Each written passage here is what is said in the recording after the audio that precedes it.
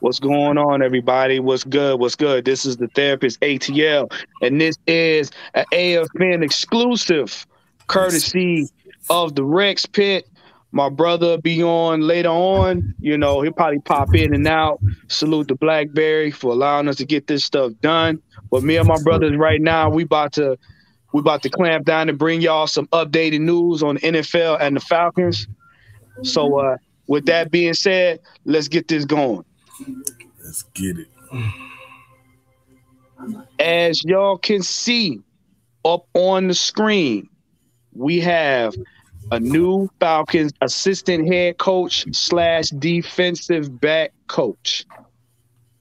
Now, y'all have been hearing this man's name for the last five or six days, and we here we gonna break it down and everything. Hey, Ant, go ahead. Oh yeah. Um yeah, he look, bro. He been around a, a long time, man. Just like Dean Pees. Um and he gives he gives us some much needed experience as far as coaching staff goes. And since Nielsen does not have experience calling plays, Mm-hmm.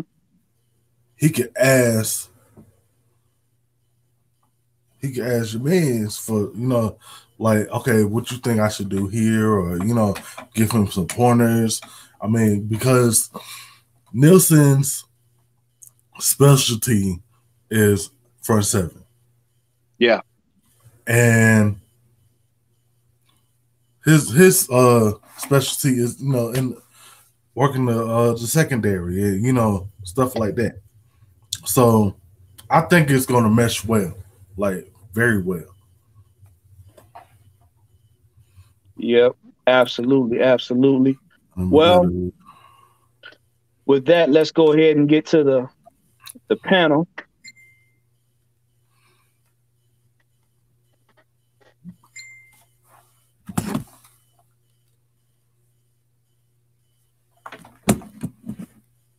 Hold on, let me-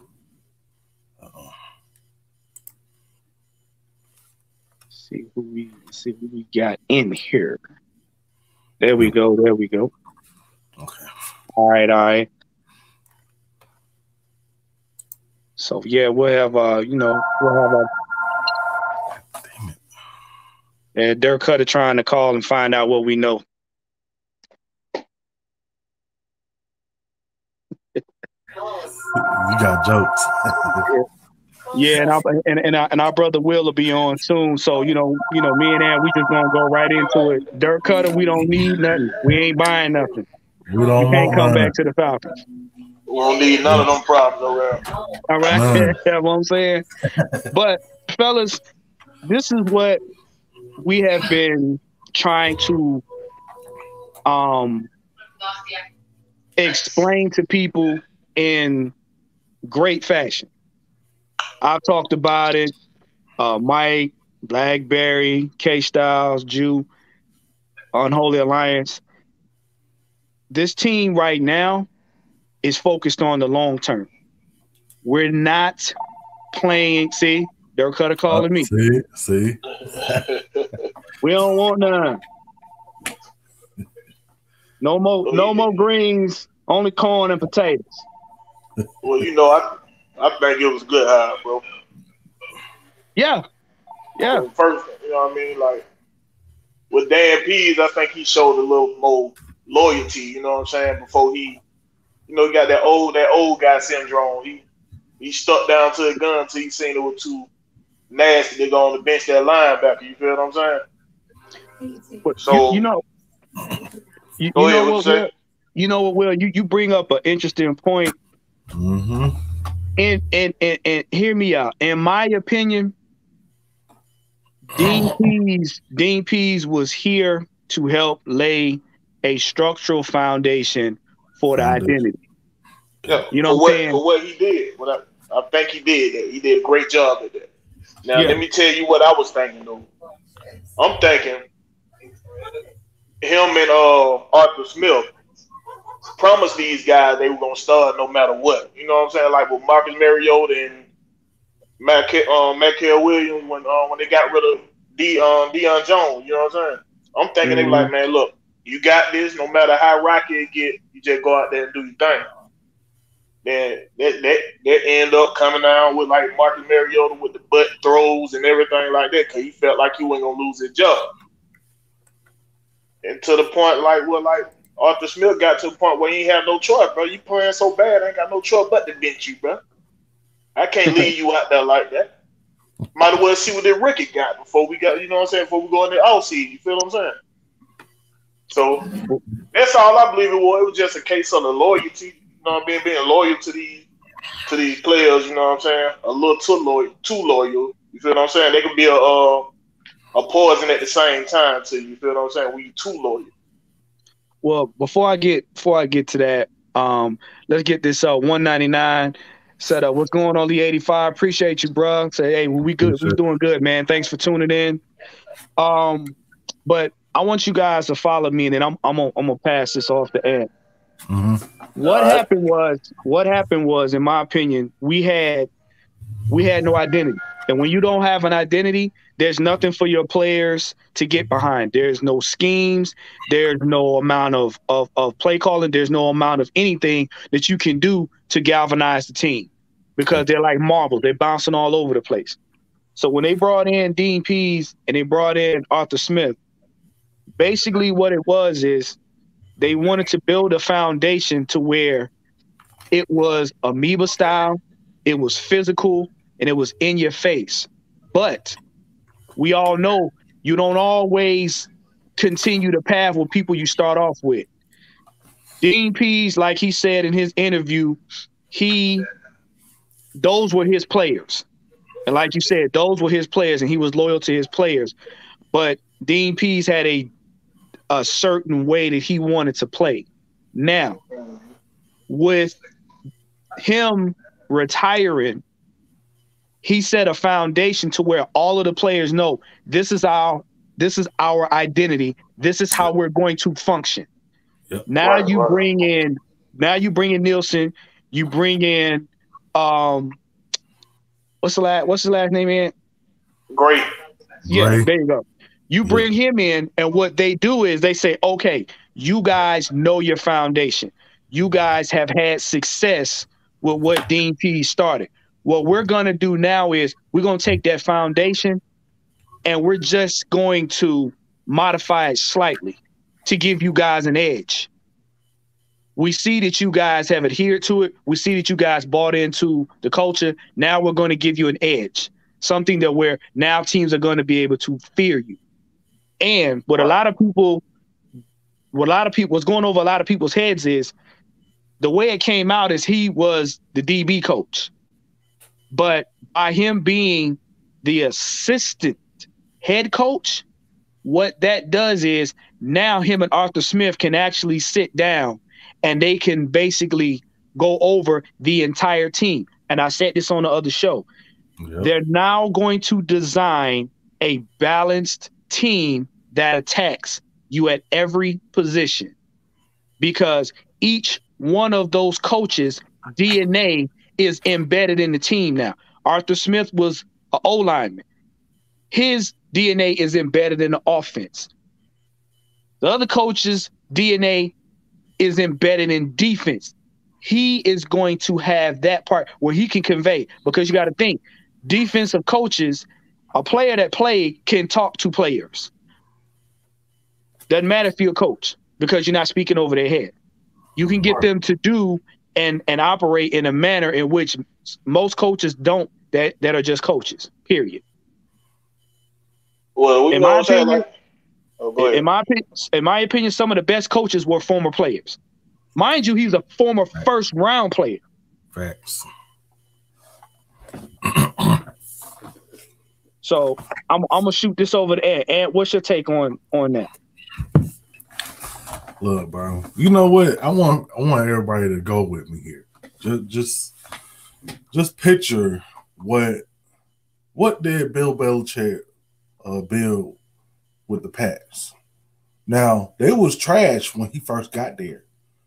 Just like what, just like what Arthur Smith when he first got here, we was down in dumps, thanks to the old regime. But now we're starting to start to build towards the future, like you said, Juan. Like this is a team that we're in the we're right in the middle. Like this is not a team that's five, six years off.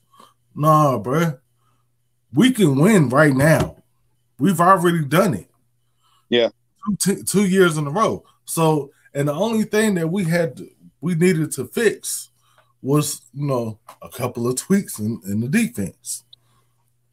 Getting, you know, getting off on third down, getting some, you know, timely stops and timely sacks. We got we got a couple of sacks, but we didn't get enough sacks in the right time.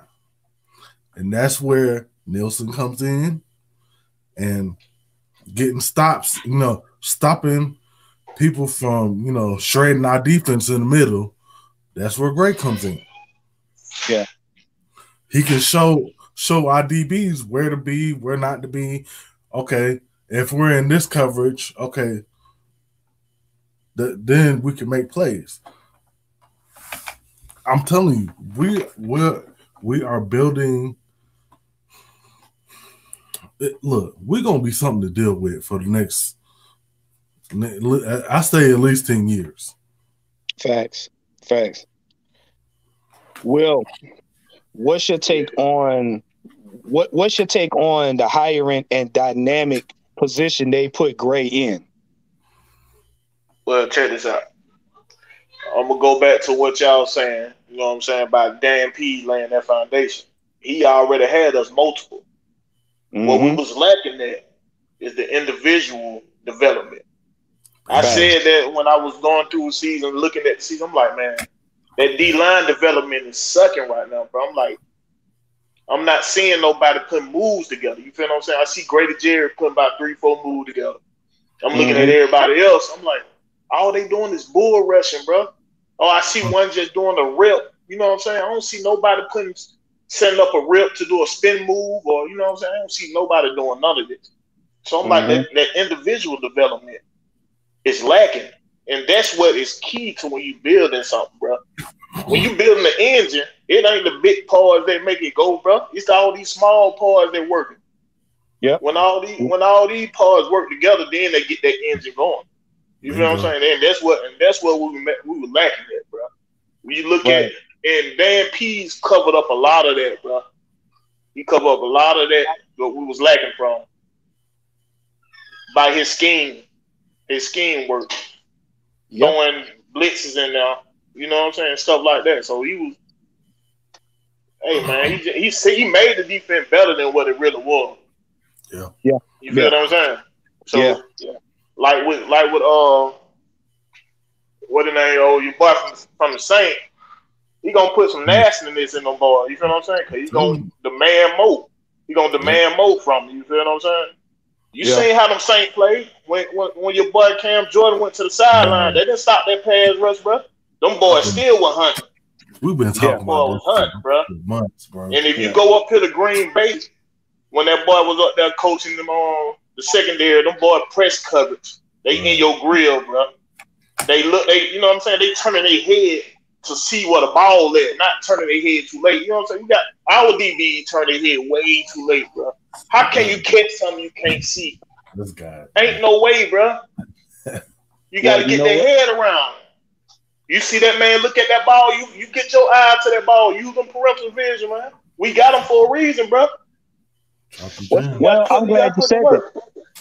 I'm, I'm glad you said that because you you you you um you you yeah. you segueing into what I was what I was gonna come up with next. The things that people need to pay attention to is this. Jerry Gray is going to give this team the ability to where we don't have to lean on our secondary as much. And like Will said, during those games, and the most pivotal game I'm going to point out is when we play the Bengals. Mm. Because up until that point, our team was getting at quarterbacks, disrupting disrupting their their pass game, stopping their run game. But when they decided to protect the quarterback and he decided to throw, what would happen is our secondary was not prepared for that. We always right. complained about the middle being wide open. So we're pushing the mentality that we're going to get players so that front seven is more stout, is more gritty, is able to get pa- is able to get that pass rush so that we don't have to worry about them picking us apart in the secondary. Now, Nielsen will help with that edginess. Mm-hmm. Jerry is going to turn around and make sure that the guys in the secondary, your safeties, your corners, are going to be able to cover. So when they decide to go over the top, there is no going over the top. Right. That second that, that hole that hole in the middle practically disappears. And when teams know that they can't go over the top on you and they have to rely on the run game, then you pin their ears back. Yep. Now the second thing is with with this dynamic, now what you have is, and I told people before, you got Arthur Smith, you got Terry Fontenot. Terry Fontenot is a numbers guy. You got Nielsen. Nielsen was on the squad that Terry Fontenot came from. Relationships. you're gonna get Jerry and you're gonna get Nielsen, and you're gonna have them sit down. And if you saw, Nielsen was at the game with Arthur Smith. Mind you, Arthur Smith did two things that stuck out to people. First of all, he talked to Belichick. Pay very close attention to that. Mm-hmm. You don't think he was getting jewels off of Belichick. Number two, Nielsen showed up when he did not have to so that him and Arthur Smith could start working on a plan. Why? Because they're going to go to film they're gonna sit down and they're gonna pick apart the defense and see who's who's gonna work for that scheme and what areas and who they're gonna need. And then they're gonna go to Terry and be like, yo, we want this, this, this, and this. What can you do? Yeah, yeah. And See, Terry what, will get back. Oh, go ahead, my fault. Yeah, and what and what Terry would do in turn, Terry gonna see where he can squeeze money who's got to get let go, who can they use that's on the practice squad so that they can save money. And then, hey, by the time they decide, you know, they, they want to part ways with Mariota, you got extra funds. What they're going to do is Terry's going to find out where I can where I can cut stuff to save money before I spend money. And then they're gonna look at free agency. Now, mind you, the last, yesterday, Mike and them just told you you spend a lot of money in free agency. So you got the best thing is you find your money in house first. Then you go to free agency and then you go to the draft. So pay very close attention to this chess match because you got players that's going to come into free agency from these teams and it's going to be a lot of bouncing around. Because right now, what we're sitting on, and we about to get into the next topic after this, is the reason why our defense needs to be top tier because now we have an opportunity to take advantage of our division. What you about to say, Will? Yeah, what I was saying though, like, man, folk fail to realize how smart the Arthur Smith is, bro. Yeah. how smart that man. And when he first got the job, first thing he did was go talk down there to Kirby Smart, bro. Yeah. Holler at Kirby Smart, you know what I'm saying? I mean, pick your brain a little bit. Seeing what he's doing to be successful now. now. Then, mm-hmm. like you said, up there at the Swine, what it was, at the Swine practice or something like that. Yeah. Yep. He up there talking to Bill Belichick. He always trying to see how he can get better. He he looks around the league. He checks out these offenses, seeing how he can integrate it into his offense. You know what I'm saying? Then we got what, what these hires right here do is make the defense cohesive it make everything work together. What we was doing sometime last year, man, the defensive line might be playing good, but the secondary playing like AIDS. The secondary playing good, but the defensive line can't get no pressure. It wasn't mm-hmm. never cohesive. You know what I'm saying? Yep. So now this going this gonna teach them how to work as one. You feel me? So like, gotcha. you know, Dan P's defense, it ain't no easy defense. You know what I'm saying? He was get he was getting them to learn that defense so he can throw in different wrinkles to it. You feel what I'm saying? So when they take that, when they got to learn that, that individual, like I was saying earlier, that individual work is important, bro. When they not getting yeah. good individual work, it ain't gonna it ain't gonna look as crisp out there, bro. Do your but job. if they confident, if they confident in what they do, oh man, they, they, they ain't worried about nothing the offense doing out there. Because if you confident in what you're doing on defense, all you doing is playing that grass. You playing that grass, you feeling that man. You worry about what you controlling out here on this grass. You feeling that that offense, um, that receiver or that running back or whatever. You feeling that. You feel what I'm saying? You seeing that with your eye, using them perimeters, like I was saying. But if you playing that play, that, that grass out there, ain't nothing they can change. They can't make the grass wider. They can't make no. the grass longer. Nope. You play that grass, bro. You cover what you supposed to cover. That's all. That's all you gotta do out there, bro. That's what I'm. That's all I'm saying. I just want to see that, and I think the defense finna do that. They're finna do that, bro. Cause yeah. what, when we play the Saints, what do you see? Them boys are very attention to detail. And the reason we were beating them because Matt Ryan was smart uh, opening up holes. He, he wasn't scared to thread that needle. He would thread that, that needle right there. You know what I'm saying? When that when that window open up, he he there. He ain't missing that window. But it's very it, it ain't wide windows that this guy got to throw to. If we playing the Saints, they don't have wide windows to throw to, bro. It's always competitive. They might hold a little bit, but hey, they get away with it. You know what I'm saying? well, do you know what, Will? Bruh, you you struck on the gym right there. Now I hope everybody was listening to you. You struck on the gym. Yeah. Because what I'm about to say before I pass it to Ant is is key, and I'm pretty sure Ant gonna back me up on this. I said this on one of the shows, and I still stand on it today. I said if we would have had Ridder earlier in the season, it would have changed the landscape of us getting there. The reason being, if you look at these last four games, the last two in particular, I said it from the preseason game, and y'all can go all the way back to the beginning. I didn't said it five, six shows go ago. Back. Go back. I said that young man is not afraid to throw the ball. He is not afraid of pressure. And mm-hmm. I said he is one where he will step up in the pocket in the in the face of pressure and still make a play. And it showed. As many times as he threaded the needle without any interception to receivers, you got to think and this is something else I said uh, a couple two shows ago.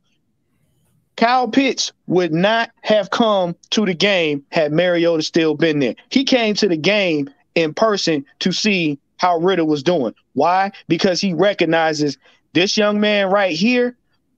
When I get back and I get better, I'm going to get touches. I'm going to be able to do what I got to do because no tight end, wide receiver, running back, or anybody on the offensive line wants to have a 1,000 yard rookie season and then turn around and have a bad season because they're not getting touches. Nobody wants to do that. And the fact that you said that lets me know that you you you basically going where I'm going. People are people right now are, got reservations on Ridder because he's a rookie and he only played four games. Trust and believe when I tell you. Trust and believe when I tell you. Arthur Smith don't have to worry about the defense being what the defense is going to be. He can focus on the offense totally. Why? Because he's got two guys that already understand. The second thing is Jerry is a former first round pick. He understands the DNA of defense. He's a veteran. So that means that he can mold them guys and give them that personal development that Will was talking about. So because he's going to be able to coach everybody up around, so people like um, Anderson, Ebiketie, and Grady Jarrett can eat. We're not playing checkers no more. This is all chess. This is all chess. And we got a scrambling quarterback. All right. Not a running back that can throw a scrambling quarterback, which means that this man, which means that this man can yes, read sir. defenses, go through progression, thread the needle, and if pressure ain't what it's supposed to be, he can escape the pocket and still make a play. Mm. But and go ahead, man. Let g- g- give me your thoughts before we segue into this this, this other explosive news we got for him. Man, look, y'all done said everything, man. Like it, it starts with the foundation and the development of the players. Something that that word has not been taught around here too often. Like we don't know what that means in this It's organization. foreign. It- it's foreign to us because we we haven't had to do it. I mean, when was the last time we we developed players? Like, come on, bro. Close to never. I had to say when uh when Mike Smith first started, they were big on development. I had to get it because them boys how they long- developed there Okay, how long ago was that? a long time. Yeah, a long time ago. Many moons ago. Like, it, it's been too damn long. We haven't we haven't developed any type of talent. Like, we got Grady in the middle, and that's it. Like, nobody else is doing their job, or you know. And then the secondary is it, it's been worse, but we getting better. That's what I say. Yeah. Yeah. Well, I'm gonna say this. We we not gonna hold y'all back from this because I'm pretty sure, you know, you guys that have been on Twitter and and YouTube have seen. But um the news is out. The new the news is out today. I seen it earlier today that um Tom Brady uh has decided to retire for good, per his quote. Um, it's been a lot of sources that have put it out. It's been a buzz on on Good Morning Football, you know, all, all over. And um, I mean, personally, I'm like, okay, he gone. That's what's up. Mm-mm. But No. what it means to this fan base is we have we're in a unique position and we have a unique opportunity. But before I do that, who Wow. didn't slid up in here? Who, who that is? Why? Home team, what's happening, y'all? That What's It's going the on mic- with that? it's the maestro himself. It's Blackberry Lyrics. What's going on, Blackberry? Hey man, look, we, we glad you was able to jump on, bruh. Hey, since you on here, man, start us off with the uh with, with your with your thoughts on um um Jerry Gray, or you can jump on the Tom Brady, man, whichever. Uh, yeah, I'll start out with Jerry Gray. Um, you know, being a fan of football and being a former ball player myself, Mhm. um, you get excited about hirings like Jerry Gray. You get excited about those hires for a coaching position, even though he it- it's not. This ain't his first rodeo. Of course, he, you know he done been a, a, a defensive coordinator for the Bills, for the for the Titans. Um, he does. I mean, this ain't his first rodeo, but you get excited that guys like him continue to get work in the NFL as a coach.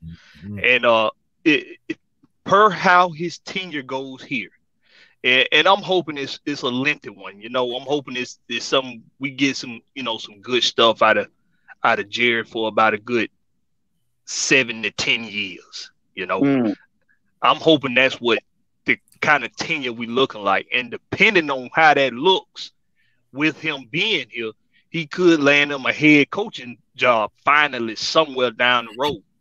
Uh, you you you you want things like that for the the Jerry Grays of the world because when this guy played football, this guy was a baller, man. mm, He was two-time second team All Pro, four-time Pro Bowl player. This guy knows the position. He knows how to be a defensive back, man. He he's he's going to uh do wonders. Okay, he's going to do wonders to this secondary, and because this is a developing type coaching staff. This ain't a coaching staff that go out there and look for whoever the hottest new trend is in the free agency. You know, that that ain't what this that ain't the kind of coaching staff this is. This is a coaching staff that you know, and, and, this ain't a general manager that's like that neither. In Terry Fontenot, they pride themselves on developing talent, and mm-hmm. the mm. best organizations. The way you become a franchise, the way you become a dynasty, you oh, think about San Antonio Spurs. You think about the Los Angeles Lakers back in the day, not now.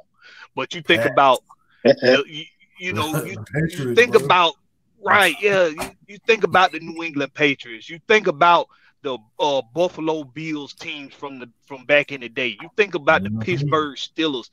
These teams were capable and able consistently and persistently year after year to develop talent that they went and got, that they scouted, that they recruited. And it, it, it's that's what we're building here in Atlanta now. That's what we're building here now. Uh, we were on that path, you know, late 90s, early 90s, uh, late late 80s, you know, up until like 2000, 2001. That's the path we were on mm-hmm. developing talent. It wasn't about who who was hot out there in free agent. Who's the what's the next superstar to be in free agency that we can go throw some money at? That ain't yeah. what they that that's not what this coaching staff is about. So the hirings you're seeing now with the Ryan Nielsen, with the Jerry Gray, that's what you're going to get here in Atlanta from now on. It's a part of the culture change that Terry Fontenot and Arthur Smith were raving about when they got here. No more of that pussy mouth feeding, uh, uh, you know, talking and, and, and pussyfooting around type style of team that's that's out here trying to run around everybody. No, we gonna come on, guys. Come on, we guys. gonna run through you, and we gonna be able to we gonna be able to dominate you physically, and we gonna outsmart you uh with the coaches with the uh coaching. That's is what that's the culture that you're going to get here now in Atlanta. And Ryan Nielsen and Jerry Gray are they are prime examples of that. If you look at their their resume, they prime examples of that. Facts, facts, facts. facts. So, yes, so what's your um, what's your take on that? What um, how do you feel about the position that we're in right now with Tom Brady finally well spe- I, I will say five years whatever with him saying he's stepping down, you know, from the NFL for good. Mm-hmm. Well, you know, you know, with him, you know, saying it now, and, and I'm gonna be this guy today, okay? with with him saying it now, uh, if it if it holds, because you know we've seen we've seen him do it, and we've seen other quarterbacks do it. Say they retiring and and come back out of retirement, right, um, right. like within a week. but uh, if it does hold, I'm gonna be this guy today. I'm gonna congratulate Tom Brady and give him his flowers, and I'm gonna say it was a hell of a ride with Tom Brady in the NFL, man. As a football fan, you know, it gave he gave us things to talk about. He gave us excitement. He gave us drama. He gave us plenty of things to have to look forward to with football in, in the National Football League. Uh, it took him a while to realize it's time to hang it up. But in you know, to go to his defense with that a little bit, until I see the wheels done fail completely off, I'm gonna run that thing till the wheels fall off. You know what I'm saying? So right, right. I don't I, I don't blame him at all. You know, uh, we talk cash money about him. It's it's fun to talk trash about Tom Brady if you're an Atlanta Falcon fan. It's fun. Uh, because we don't we don't necessarily like him when he playing us, and we don't really like him when he playing anybody because we just think he a crybaby on the field. But you know, man, hey man, flowers off to you, Tom Brady. Uh, it was fun, man. We appreciate you you know, giving your body, giving your mind, giving your time. We appreciate it. And uh, even though we know you got paid handsomely for it, mm. appreciate you, man. Yeah. So, Will, what's your uh, feelings and take on um, Tom Brady? Um, you know, supposedly leaving the NFL for good. And what do you think about our opportunity as far as the NFC South is concerned? Well, my point is, I don't care that motherfucker leaving or not, bro. I want to play the best at the best time, anytime on the field. That's how you build you a dynasty. I understand. You know what I'm saying? You're not scared to play whoever. You feel what I'm saying? Mm-hmm. That's what I liked about Desmond Ridder when he played against him. He didn't flinch. Not one time. He was out there going blow for blow for him. Yep. And Todd Bowles, Todd Bowles went here and took Tom Brady out. I don't like the way they hit Tom Brady. Let me go and take him out. You feel what I'm saying? So like I used to like Tom Brady when he when he first started, man. That man, I like the story and everything, but then he got cocky at the end, so I ain't like that, ain't like that. He got cocky and started doing all that bitching and all that. I ain't like all that. You feel what I'm saying? so he a great player that would never be touched from him. But what folks got to realize, Bill Belichick made that man. Bill Belichick was in that oh, man ear every day Thank teaching you. them defenses. Every defense they gonna show this man. Thank Every you. defense he was gonna see out there, Bill Belichick was breaking it down to him. If you go back and look at the documentary, they were telling you that. So I don't want to know why folks were thinking like, "Hey man, Tom Brady made the Patriots." No, no, no, no. Bill Belichick built the dynasty down there. You know what I'm saying? And folks, once the new players came in, they ain't have no Tom Brady there to show them that this worked. You know what I'm saying? So it, they was a little hard headed at first. And that's why I took Bill Belichick a little time to build that thing right back up. You feel what I'm saying? To get back to the playoff. But what happened when he went down to Tampa Bay? He took that same Belichick routine to Tampa Bay. They'd be like, man, we got to do this. We got to do this if we want to win. And what happened? They won the Super Bowl. Him and Bruce Arians were bumping head. You know what I'm saying? So I'm like, man, like, he a great quarterback, bro. That would never be taken from him, bro. That would never. Six round quarterback coming in, you know what I mean? Six, uh, what, seven Super Bowl ring? What the man had like five MVPs or something like that in the Super yeah. Bowl? Yeah. Man, come on, he, you can't take that away from him. But what slowed us up, like I was talking to y'all earlier, our development. That what slowed us up, bro. Our player development was lacking, bro. We had so many chances now. And like when we was in the Super Bowl, when they was talking to him about that, what um, dang, what that cornerback name who with us, boy? Uh, with Trufant? No, not Alford. him. Alford. Alford. Alford. Alford.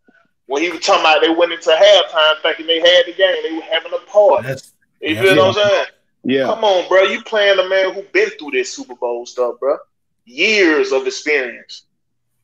You, everybody know, bro. That game ain't over till that clock strike 3-0, bro. So that clock, yeah, that clock strike 3-0 that game still going, bro. But we cost ourselves plenty of time around here, bro. And I think this way Arthur Smith building is built to sustain, like what we got down here in Georgia. You feel what I'm saying? Like them Georgia Bulldogs. He got some sustainability. He already done built this identity last year. He showed them, bro, we're gonna come punch you in your mouth. You ain't ready for it. You better start ducking, dodging, or whatever. You feel what I'm saying? Right. He already showed them that we're gonna punch you in your mouth when we come out here. And how many one score game we had? Come 13. On, Come on, bro. Come on. If we had a quarterback, if he wasn't loyal to that quarterback, bro, we good in the playoff easily. Easily. Because what it took uh, your boy Desmond Ridder, what, two games to get right? It took him two games, bro. Yeah. Took him two games. And he showed up when he got a chance. Now the national media want us to get this Lamar Jackson so we can break it back down so they can break this back down. You feel what I'm saying? Put us behind the eight ball where we just came from. That's why they pumping all this Lamar Jackson, Lamar Jackson. Come on, bro. Y'all seen what Desmond Ridder did. That man didn't show no fear out there. they don't see it. Not you know what I'm saying? That boy didn't show no fear out there. They see it, and we just see this. You know what I'm saying? This black quarterback, he run like Vick. Oh, but we had that good Vick experience around here. You know what I mean? We loved it, but what did we win with Vick? No, we did not win, bro. so I don't care how much you love that man shaking folk, making them uh tackle, tackle each other, whatever. We ain't win with it down here, bro. He sold tickets there for sure. he sold hell of tickets. All right, Ant. All right, Ant. Well, with that, what's your um, what's your take on it?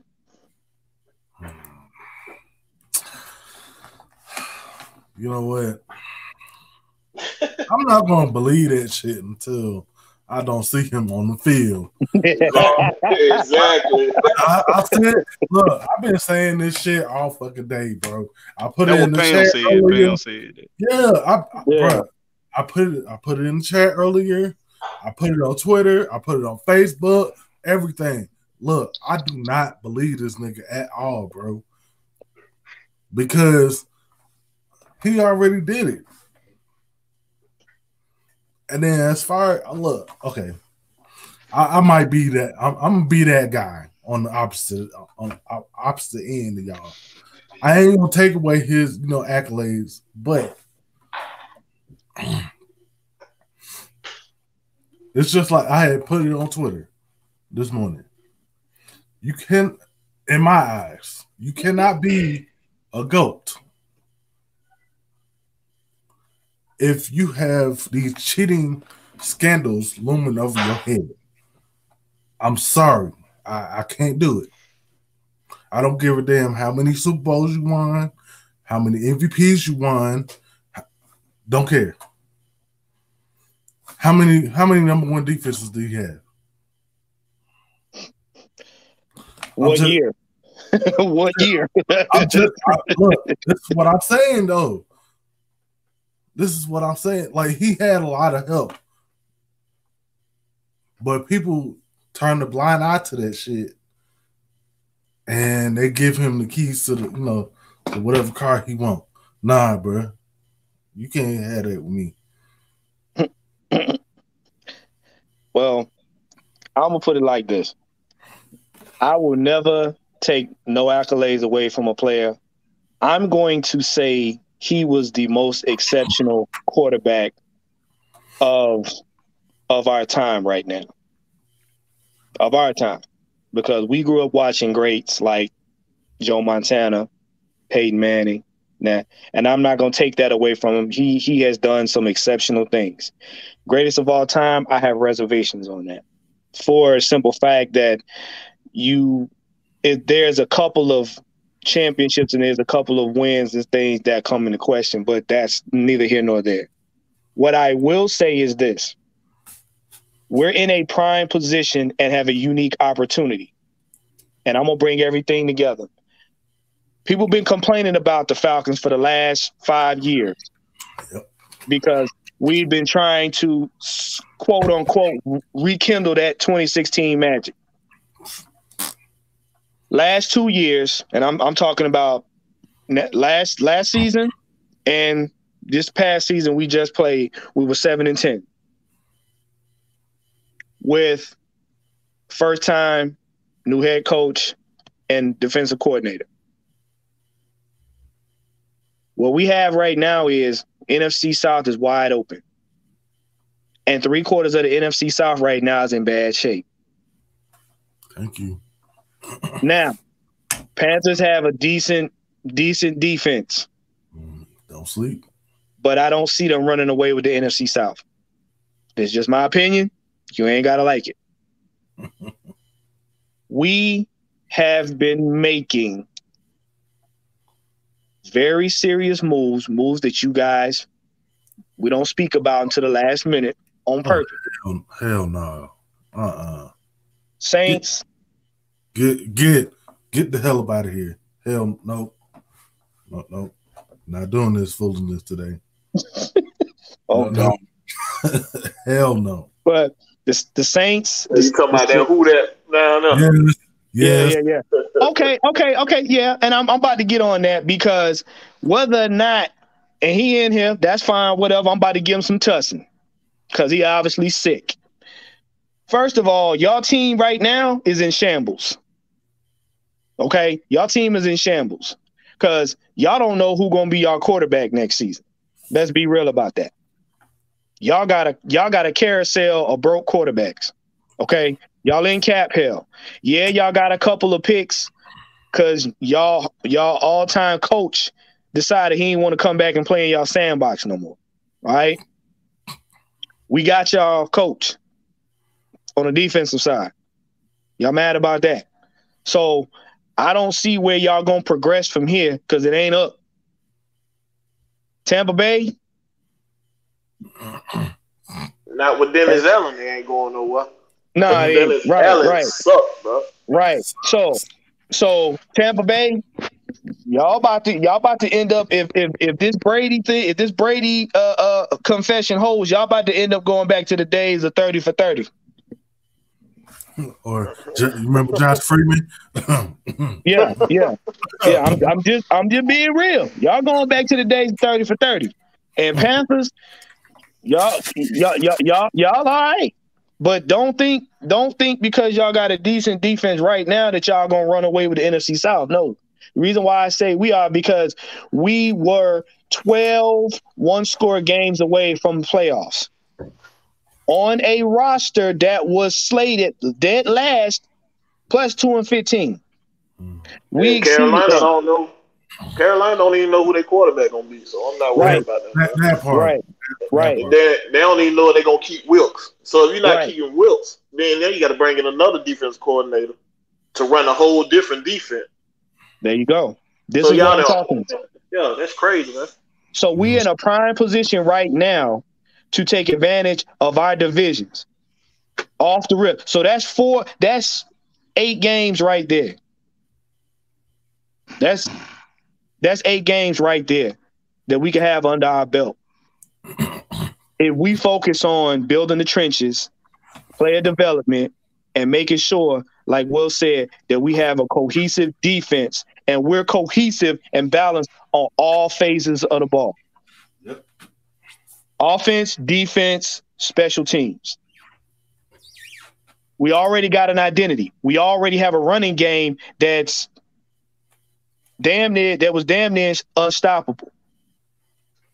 We get when we fix these holes and everything, now you got a team that can be developed together and grow so that the team can be unstoppable. Then all we got to focus on is, is is beating everybody else.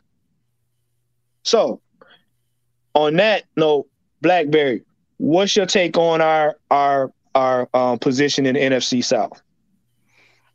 Um, I feel like we the strongest team in the South. I feel like we got the most balanced organization in the South. We're not Mm. a dumpster. We're not a dumpster fire organization like the like like the Carolina Panthers. The, the, the, the Panthers, the Panthers, you feel you feel bad for the players, how bad that the organization is. You feel bad for the players. You feel bad for some of the coaches that's on the coaching staff. Because it's like we can go out here and play our hearts out. This front office will figure out a way to fuck it all up.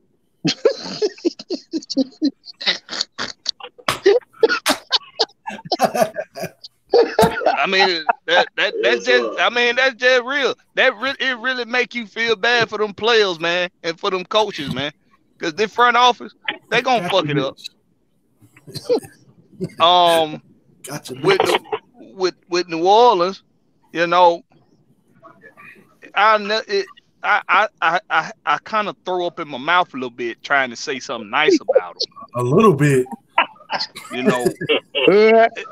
So so because of that, I refuse to try to even utter anything positive about the Saints, other than other than Terry Fontenot is picking all the good pieces out of y'all organization and leaving y'all with all the tainted shit, which is fitted, which Yes, is fitted considering you live in a damn tainted city, you play in a tainted city, and you and you're the most tainted damn fan base in the NFL because you really think you won some worth talking about when you did win.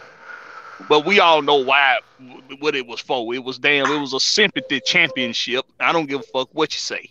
Man, I've been saying that for years, bro. You had you, you had one of I've the worst saying that defenses. years, bro. You had one of the worst defenses in the league when you won. So miss me with that. That shit Yeah. was even worth uh bragging about. And um, as far as the Buccaneers go, you know they went all in. They went all in on getting a champ in in, for one ring. in getting a championship. You're right. They And- went all in on the refs. The refs pockets full as hell. Yeah, you know, you you go when you go get Tom Brady. When you go get Tom Brady, you pretty much know, oh, we finna have these refs in our back pocket. Oh yeah, Yes, sir. yeah. So That They knew they had that in the defense book. too. oh yeah, oh yeah. They knew they had that. Um, they got the best of the, his latter years out of Oh, um Leonard Fournette. So I give them credit. I'm gonna give the Buccaneers credit for going and getting Leonard Fournette right before he started declining Gronk. and and got a championship out of. Gronk. Uh, uh, uh, and, and Gronk had already declined a little bit. The only thing is he's Gronk, so he was going. He was gonna he was gonna show up in moments when you needed him to, yeah. and they got the they got the best out of his latter years out of him. Leonard Fournette, they got the best they, they could get out of Tom Brady in his latter years. They went all in. They went to the senior home and they got and they went all in on these senior citizens, and, and it paid off for a season. So um, hats off to you, Tampa Bay, but welcome back to the shithole. Welcome back. to the real Um, world. we are welcome back to the real world, Buccaneer fans. Welcome Um, home. That's what they do. And as far as our Falcons go, man, I, I think you would have to literally just be somebody that just love to hate the Falcons to not realize the direction that we're going in is upward. Yeah. I mean, you you would really have to be blind or just straight up just ignorant as hell to Asinine. say right to say that these Falcons are not trending up. Um, two seven and ten back to back seasons with teams that didn't have no business winning seven games. right. Um, When they was according- down it. Right on paper, on paper, didn't have no business winning seven games, but it go back to what we what we've been saying about this coaching staff and how they're great at developing talent, how they're great at scouting, they're great at recruiting. And before I finish, I want to quote something Terry Fontenot said to um, Atlanta Falcons uh, report to the Atlanta Falcons report. Uh, well, let me not say quote because I'm gonna have to uh, I'm gonna have to paraphrase here. But he said uh, he said uh, it's not always about free agency.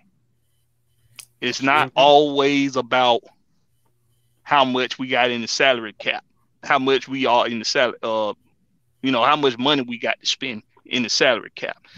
Uh, nothing's going to change the process. And like I said, I'm paraphrasing, but Terry said nothing's gonna change the process just because we have the second most wiggle room in cap space uh in the NFL this coming up off season. Just because we got the second most cap space, that does not mean that we're going to change our process. And it's So not all of, Go ahead, Blackberry. Go ahead. yeah, it's not all about the early rounds in the draft. It's about all the rounds in the draft. Facts. And That- every and, and- and I mean that pretty much just sums up everything we've been telling the fan base ever since he got here is that this is what this guy is is going to predicate his movements on with this team and that's what he's been doing y'all got to pay attention falcon fans y'all got Yeah, to pay yeah, man. attention Him and Arthur Smith worked so well together, bro. They worked so well together. Arthur Smith know what he want to do, and Terry know ain't scared to go get it. And so what? So we, so we need I to be wanna prepared for another one year Go ahead, my contract, bro. one more, one year contract, and a strong draft. Simple as that. That's what you're gonna see. Yeah, yeah. You're right. You're right, I'm coach. You're right. interested in seeing what they gonna do. If they gonna go get um Orgeron, your boy Orgeron from uh, Louisiana. I want to see if he gonna go with, work with them defense. Well, here, He has a job though. Say what? Don't Ed, to Ed Orgeron, but he have a Cole, job Cole somewhere. Ed Orgeron. You know him and um him and that deep Saints defense line coach used to work together. Right, right. But I think he's out a head coach somewhere. I think he's coaching somewhere. Now he unemployed. You know he got fired from uh, Louisiana. He got I five think them. He, I think he got picked up at a small school. I think, if I'm not mistaken, I think he's at a small school now. A different He in school. the in an advisory role or he got a like a defensive I'm line about to look it up. I'm about to look it I think I think he had a head coaching job, if I'm not mistaken. I could swear he I'm had a about head coaching job. up. Oh, But, you, okay. but, but you know, but you know what? Pay very close attention. When, if if you want to know, if if, if, if you want to know how heavy a team is going to go in the draft, pay very close attention to what they do and don't do in free agency. Exactly. Because, like Right, Mike and them right. said yesterday, free agency costs a lot of money because a lot of a, a lot of the standard has been raised by other teams signing. So you got to pay attention to who they're going to look at and whom they may they may pick. Like I said before, it's going to start in house. They're going to see who on the roster they can cut to save money. Okay? Then it'll go to the free agency to see who they can get for little or nothing. Cause trust me, Terry ain't about to break the bank in no free agency. It ain't gonna happen. That Well, ain't yeah, something we gotta already- worry. about. And I already seen what it looked like to be in Cap Hill, so I know Yeah. he ain't gonna try to make that same mistake. Nah. I'm and then the draft Go ahead, And- bro. Go ahead. and then, and then the draft is gonna be that that gut punch. But if you look at what they've been doing, they're strategically looking at players in this bowl they was playing in. They mm-hmm. strategically looking at they doing all of that. Why? Because when they get done, they're gonna go back and say, We like him, we like him, we like him. Who can we cut to save what? Terry will say, I can run the numbers and figure that out. Because you got to think one of the biggest one of the, one of the biggest savings we gonna have is cutting Mariota. Mariota gone. So for Well, Mariota, man, if that's the Yeah, if that's the see. ceiling, if that's the ceiling, everything else is gonna be right below that. Yeah, I don't see them. I don't see them re-signing that man, bro. Not the way he went off on the team. I mean, Nah, you could have said you had your surgery or whatever. You still could have Well, came can't back. do Your anything. boy Kyle Pitts Can't was do over. Go ahead, what's that? We can't do anything to uh, March 17th anyway. You can't cut nobody until March 17th. Right, Yeah, right, right, right, right. So, so right now, so so right now, what they're pretty much doing is they're just compiling who they like. They're compiling who they like, and they're they're basically using relationships to see where they can fit in and find out what they need to know. Then when it gets closer to March, then you're gonna start seeing people just falling off. You're gonna be finding Terry gonna find money like out of nowhere. You're gonna be like, where he get that money from? What? They cut him? And but the closer we get to the draft, trust me, free agency, in my opinion, is where you need to really pay attention.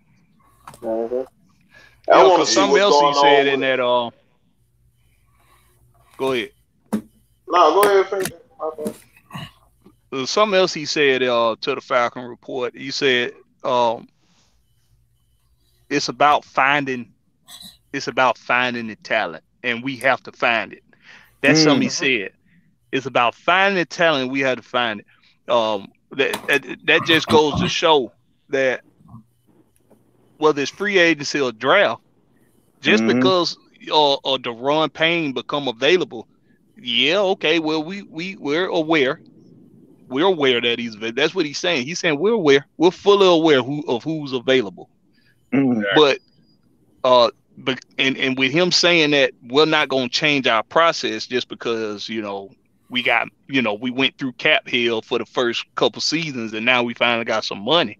We still gonna go out there and find the talent. We ain't gonna let the talent find us and say, Oh, this this is just what it is. So this what this the uh best this the best guy available. How much you asking for? Let's work with him on it. It's about well, who else is out there? Who out there Mhm. that's not as expensive? That's that could be just as as uh valuable to our Yep. team. So that's something else he said. But go ahead, coach. You was gonna say something. Hey, I want to think about this, guys. Last year, during free agency, what we had about twelve million dollars, give or take Yeah. twelve million. Yeah, yeah. Look what they, look what they brought in with twelve million dollars last year. You got Carter, you got Evans, you got several different bodies that came in there last year and produced on twelve million dollars. Mhm. That's that's that's a that's a damn good shopper. I hate to say it. you know what I'm saying? These guys came in for He's million on dollar that clearance contracts, aisle. but that. They want they wanted to be there. That's the thing. People want football players, if they want to be there, they, they they will sacrifice sometimes to try to get that next contract. Yeah. So you go. I think this is my take. I think we're gonna keep Evans. I think, and I think we're gonna keep Zoe. Those two, I can say, I think we're gonna keep. So right I'm now, that's like that's like ten million dollars. I'm I'm giving take ten to eleven million dollars just for those two guys. So you're looking at like twenty, about thirty million dollars for three years total for both of them, Mm. which is not a bad amount. No, it's not. So you're looking at What I eleven want million to say though, Go ahead. I'm sorry. you know what I want to see? I want to see what's probably not gonna happen is your boy Chuck Smith. You know he been down there at the Shrine Bowl with them boys down there and working with. I, I can see him working with the outside linebacker on that pass rush. But I'm thinking that man asking for too much money. I'm thinking Chuck Smith asking for too much money. Cause I'm saying this man is out in our backyard. He and coach some of the best pass rushers in the league and we ain't made this man no offer. I know why Dan Quinn didn't make him no offer. He was he full of himself. But I'm saying like I'm saying like Arthur Smith ain't went down to talk to him either yet. You know what But I'm saying? think saying? about this But- though. Yeah, Why maybe- Why would why would Chuck go coach and he making just as much money? Yeah, Well, he still can- he still can run his- He still can run his facility. You know what I'm saying? He's not the only one that run that facility. He got other people working in that facility with him. He can do that and come and coach the defensive lineman while his facility's still doing what it's doing. You feel what I'm saying? True, true, true that, but I don't know if he still had that urge to coach though. Think about this. He he had a he had a chance to go coach in college and stuff at a big school in college. He didn't take it. So I don't know if he still had an urge to coach. And He- and he is very hands on at that with his camp. Yeah, He's yeah, very exactly. hands on. Yeah. I, I think Yeah, I that's think why I was his saying. well go go ahead. That's what I was saying I don't think it's gonna happen, but you know what I'm saying? That'll be that'll be like icing on the cake if we get that man to come coach the outside linebacker. That'll top this defense off. But but, like, you, but you know what? We benefit from that anyway. Because if you think about it, that man, his purpose now is that camp. But what he's Yeah. doing is what he's doing, he's taking the difficult work out of out of the NFL's hands and out of out of professional teams' hands by coaching these these these guys up in proper techniques so that when they get to the NFL, coaches don't have to teach you proper techniques. All they got to do is integrate you into the scheme. See, that's the thing. He's getting them. He's getting them before they have to be retrained on pro. Because you got a lot of you got a lot of players that's good, but they got bad techniques. So they come into the NFL with, like Blackberry said, one or two moves. Like you Right. said, one or two moves. And with Chuck, he gonna make sure that they progress to where they got a foundation to where all I got to do is really you plug and play. Cause I already see your skill set, so I can put you here, I can put you there, instead of saying I can't put you there because you ain't got hands, or I can't put you there because you don't know how to you don't know how to get low. I can't put you there because you don't know how to wrap up, you know, stuff like that. Right, right. So See, plus, these players need to take initiative themselves. If they want to get better, they, sometimes they got to pay for you know pay for certain things, man. You don't want to pay like Vic Beasley for one. They want to go pay the man. He offered, Right. come on, man, I'm, I'm gonna take care of you. He, he still refused. mhm. You know, so you, you got to invest in yourself sometimes. Yeah, definitely. And that's to get this comment here from um OG Big Sam. He said if Chuck wanted to coach in the NFL, he would be. He said the thing is he has the freedom and money as well. It- yeah, yeah, because you at some at, the thing about Chuck Smith that frightened Dan Quinn and them and, and Dimitroff and all of them was the fact that he was a player in the game that he embodied what he was teaching. And a lot of times when you got a regime that's all about flash, Chuck Smith came from the gritty part of the uh, era. They didn't want that. They had no identity, but they didn't want that. Plus, You Dan Quinn didn't want to be outdone either. Right. That, I, was, I was about to say that was going to take the shine off of him. Yeah. Because remember, Dan Quinn came from the Legion of Boom. So Right. how dare so how dare you come in here being a great player yourself, being entrenched in defense and outshine me when I'm the head coach? Hold on, Juan. Hold on. Let let me let me let me explain something. Chuck Smith came to Seattle. He worked with Pete Carroll. That's correct. You Uh-huh. absolutely So correct. that ain't, that, Uh-huh. you know, see that that's the thing. But there's like, why he didn't bring these guys down here? That's what that was my thing. I was okay. Chuck Smith was always in Seattle. He was working with every- he was working with a lot of those guys from Seattle. So it's like, why did Dan Quinn bring it? So Dan Quinn was like jealous. I'm, I'm I hate to say it, he was jealous of the guy. Yeah, he Mhm. selfish, bro. Selfish, bro. So it, it- yeah, exactly. He was he was petty. So yeah, I, so it ain't that he uh, wasn't Chuck. It was like Dan Quinn didn't want him around because he was jealous of what he done to his D line. Which I said that wasn't Dan Quinn's defense. That was Right. Bradley's That's what I'm saying. If I'm the head coach, if I'm the head coach. I love for this dude to come in here and go ahead and make me look good. Come on, man. I made that high. He got my defensive line looking good like that. Man, they ain't doing that. They ain't doing that, but effing you up, bro. It ain't hurting you. It's helping you. Yeah, that's right. So that's that- right. That that man to be jealous of that and being petty like that, bro. That, that made no sense to me, bro. At all.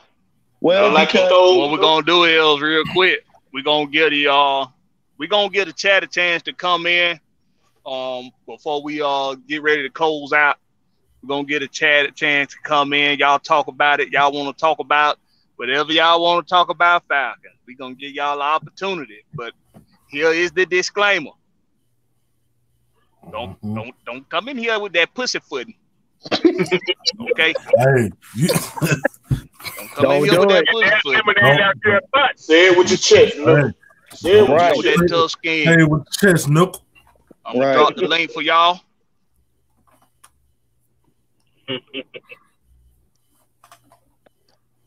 Hey, hey, coach, while Blackberry dropping that link, man, what's your thoughts on on Brady so-called retiring and our advantages, you know, in the NFC South? bye. I feel you. No, no, no, no, true. Like I heard you guys talk about, hey man, hey, he did what he had to do. You know, he won his games. You know, so congratulations on the retirement. You know, but I still don't like it. However, he did what he did. Simple as that. That's, that's nothing to say. But as far as us, man, we're in the like you said, we're in a prime spot right now. We're the only team in the NFC South that has a real quarterback. Mhm. Yep. Your foundation starts with your quarterback. We have that. We got a running back. We know we got a running back. We got a Uh-huh. tight end. We got. A, we, we we have a nucleus that can sustain us for the next seven years for sure. Yep. So Yeah. it's all about you know bringing in the rest of the pieces, man. That's all it's about. We we're gonna be fine. Like you guys talked about uh, a couple weeks ago. Well, actually, this past Sunday, I see playoffs in our future. Yeah. So Yeah. you know. And, and and coach, to add to that, we got the last laugh because our rookie quarterback Beat Tom beats Brady. you. Oh, Yeah. I, I, oh, hold on! Don't don't, don't start that. I had a fuss with somebody that worked there about that. I said Tom Brady. I said Tom Brady retired because my rookie quarterback beat his ass. Hey, hey, look, I'm, look, game. Why? Because he was getting his ass hit. That's why he didn't play the whole game. I'm, I'm, I'm gonna tell you something. And a lot of people try to deflect like like he Yeah. didn't lose to him. Here's the He deal: you, you lost to him because you guess what? It doesn't matter if he didn't play in the second half. He's still a, he's still a quarterback of the team, right? Right. Okay, who okay. started- He didn't. He when didn't he left, when he left out, it was ten to ten, bro. So he wouldn't beat the brakes off nothing. It was tied when you left out. They took you Right. out because the Grady Jarrett was coming back there like a, a Oh, oh, goddamn oh. bull in a China shop. Thank you. Grady was go- Grady was going for the throw. But I'm saying people look people look at it as oh well he didn't play the second half. He didn't have to play the second half. He's still the he's still a leader on that team. And like we all said, when the wins and losses, regardless if it's a team sport, they the the the accolades fall on the quarterback and the coach. So Like yeah, he said. took that up. He had 93 losses going to the game. He got 94 now on his record. I looked at the record. He got 94 losses. It happened, Yes, sir. it happened, happened two seasons ago. so, yeah, you lost. Right. Right. So We had it's- Drake Harrison joining, but it it, it, it looked like you're having some difficulties coming in, Drake. So, oh, there you are. What Hey, What's going Dre? on, Drake? What's going on? What's up, Dre? What's going on? What's going Ain't on, nothing bro? to it, man. Talk about it, man. What you want to talk about with the Falcons, man? Coaches, players. It's on you. All right, man. First, I want I want to comment on what you said about what about Chuck Smith, man. Chuck Smith, if anybody remember, is is is, is old Atlanta, man. So, uh, of course, uh, during the Dan Quinn era, Dan Quinn didn't want nobody to outshine that man. Uh, so I'm in agreement on that part. Um, I guess when it comes to the coaches, man, I'm I'm, I'm really excited about uh, Jerry Gray. I'm excited about Nielsen. Actually, I got a coworker who's actually a Saints fan, and he he he crying about it right now. He don't know what to do. That's So- what they get.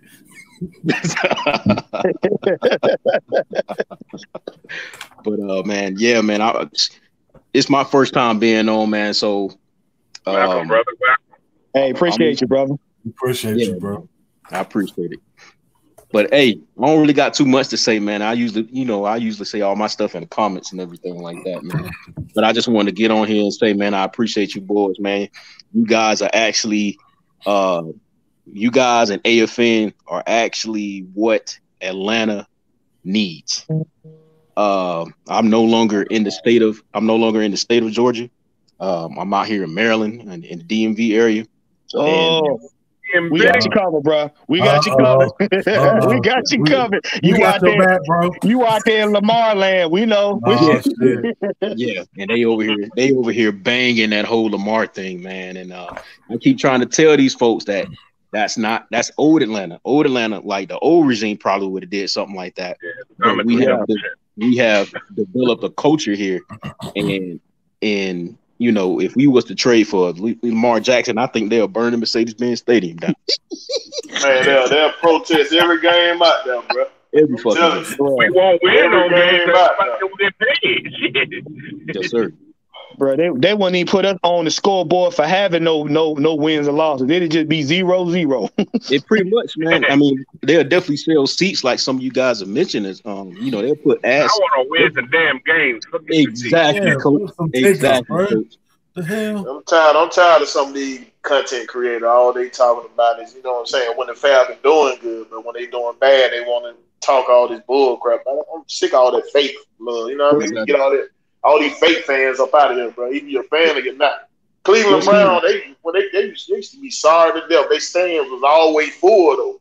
That's loyalty, my dude. Exactly. You know what I'm saying? exactly. We don't. I mean, that's what we need down here. Bring Yeah, that back. I see you coming back a little bit. That's that old history too, though. Coming back. Yes, sir. But see, but see, you know what? It's a saying I said. I said we would rather be entertained losers than uncomfortable winners. exactly. Mm-hmm. And that's Yeah. and, it- and that's the era that we're in. We're in the we're in the era of uncomfortable winning because in order to build a team, in order to build a sustainable team, a mm-hmm. balanced team, a culture team, you're going to mm-hmm. be uncomfortable at some points in time. And right now, if being uncomfortable means we do 10, two, seven, and 10 seasons and turn around and get our stuff together the next season and we play our bound, possibly going for the NFC championship, I will take that uncomfortable feeling All day. versus being entertained and then we go, we regress back to what they said this past season, two and 15, and we trying to figure out what happened. Mhm. Mhm. What you think about that, Alex? Appreciate you coming on, man. Yeah, thank y'all for having me on. Uh, I mean, I think that that's uh, well, actually, you know what? I'll go ahead and touch on like the Ryan Nielsen and Jerry Gray stuff, since that's what's uh, been popular right now. Um, it's it's kind of interesting because up until Ryan Nielsen got hired is like the first time I actually took a look at Al Holcomb, and once I watched his stuff, I was like, oh, Al Holcomb is really, really, really, really good. But um, honestly, with with what you get with Ryan Nielsen the main thing, you know, besides the fact that, you know, when you get what you get with him is uh, good coaching in regards to pass rush moves and run discipline and gap discipline and uh, and, and various just gap control techniques when, when rushing the passer. You also get the fact that he was a co co defensive coordinator with uh, with with Dennis Allen, and then I know we joke on Dennis Allen, but Dennis Allen is no joke. He, he, he is no joke. He's known for uh, coaching up his DBs to disguise coverages really, really well, which is, I think, the main reason why they got Tyrann Mathieu and Marcus Maye because they're both versatile safeties. So you can use them in many different formations to fool uh, offense offenses. So I, I guess, and, it's funny because Rags had a. Uh, uh, David Dave Ragone had uh, had praised the the Saints Saints defense when we played them in the game that uh, uh, Dean Pees got injured he was talking about how well coached they are in terms of the, their disguises, how well they, they disguise their blitzes, the fact that they can play man coverage and shut out the uh, the, the, the Bucks, uh, the fact that they that they are able to help their DBs both with pressure and with just like help uh, over the middle of the field. Like that to me is is important stuff because that shows to me that you're aware of your both both your defensive backs and your and your D line. That's that's one thing. And then there's the other thing of playing like quarters coverage, the things that's really popular right now around the league, the stuff that you see with the Eagles, the 49ers, uh, with the with the Broncos, with Vic Fangio type stuff, uh, with the with the Rams with uh, Raheem Morris, um, and that's what Jerry Gray brings. Jerry Gray Jerry Gray has came uh, from the quarters based system where they ran over there in, in, in Green Bay. Now I'll be completely honest if if someone looked at Jerry Gray off of this year and said that uh, that I don't want him, honestly, I wouldn't blame them because the Packers defense was was was not good this year. As a matter of fact, Joe Barry probably should have been fired uh, this year. But but if you look at the if you look at the Week 18 game uh, versus the Lions, I, I can appreciate how well their their DBs were coached and and the and the certain techniques that they use to disguise their coverages, playing quarters, playing man, playing cover three, playing cover two out of various different shells or of the same look. Like if you if you just sit there and watch it and it looks boring to you, that means that the, that, that that the DC is doing a really good job, or or that the passing game coordinator is doing a good job. If you can't understand what's going on and it just looks boring to you, that means that they're doing a very good job in disguising their coverages and making things hard for for for the QB. Because if you're not getting any information, the QB has no information. So I, I think that you get two different uh, minds, both with the D line, but also with uh, schematically. You know, you have a, a person that's that's more man-based oriented, more disguise oriented, and then you get a guy who's come from this popular uh, uh, defense with quarters and and and, and, and, and shifting around and, and, and matching and all this type of stuff. And honestly, I think that it's a great fit because because uh, Arthur Smith had really preached versatility. So bringing in two DCs that are good at two different things is, is a good is a good uh is a good good step in the right direction. Well, let's now in reference in reference to your boy Dennis Allen, we never said he suck on defense play call. That man is a wizard on defensive play call. Right. He sucked as a head yeah. coach. Sure. Head coach yeah. running a whole team, that man sucked. Yeah. If you want to go back to Green Bay defense, the way you tell if a dude is good or not, check out the the uh the defensive backs, see how they play in their coverages, see how they they spacing. How many turnover these guys have up under this man tutelage? He's not he's not in control of the whole defensive play caller. If he was in control of the whole defensive play caller, then yeah, you got an argument there. But far as building up these DBs, that man build DBs, bro. They go get the ball. They always go get the ball. Well, well you know what? It, it, it's always before we get to Sam. It's always it's always a conundrum when you try to get defensive coaches to be able to run run offensive schemes a lot of times because the translation is a little is, is, is a little thin. You know what I'm saying? Like I said before, our team is balanced because you have a head coach that is an offensive guy. His mm-hmm. DNA is offense. You have an, an assistant head coach whose DNA is defense. So he, the Arthur Smith, does not have to worry so much about how the defense is going to pan out because now he has a veteran that can handle that whose DNA is specifically for that a lot of these teams, when these head coaches, defensive head coaches try to run the offense, a lot of times stuff gets missed in translation. Right. But and, and Sam, I want to come at you with this. Uh, Arthur Smith also has a defensive background. So yes, he does. Uh, okay.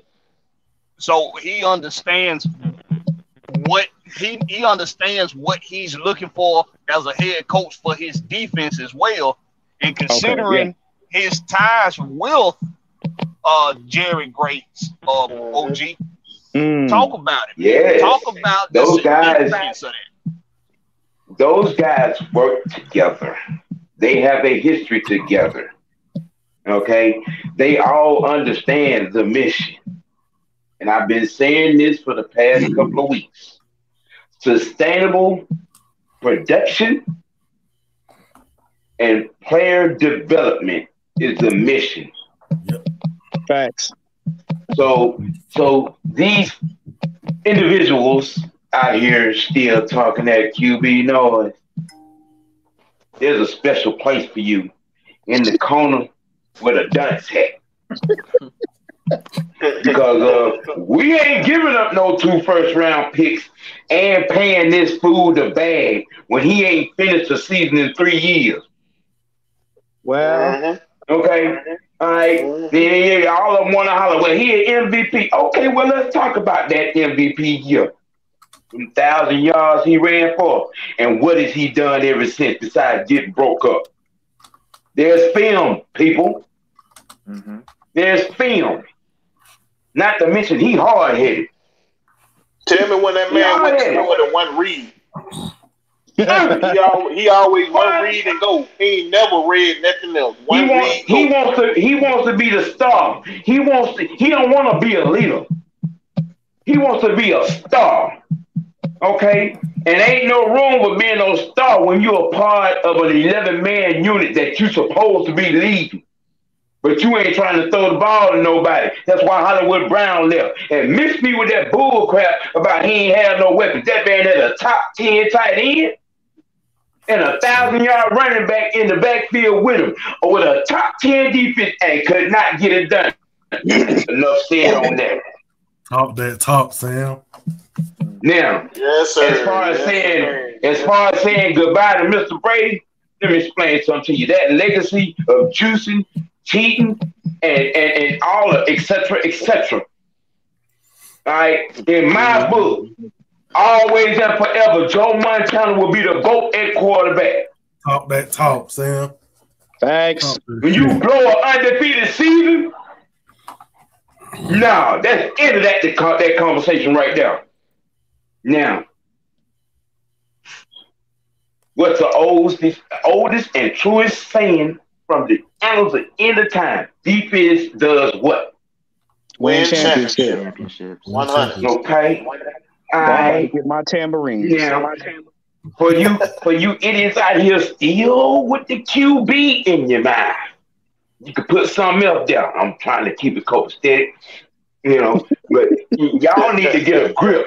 That fantasy, that fantasy will not happen. Bigitis is a disease, y'all. It's a disease. So is delusional and denial. It's an epidemic. Go ahead, skip babies. Right? Y'all running around here talking about, yeah, oh, we we we we we, we want to. No, you don't want to win. You want to be entertained. There you go. Okay, and entertainment don't get you championships. Arthur Smith has the basic football handbook 101, and he is running it step by damn step. Sustainable production and player development, gentlemen, is the mission. You got to understand the mission before you talk about the mission. Step by step, day by day. 100. This this this fan base yeah, has no clue. Mm-mm.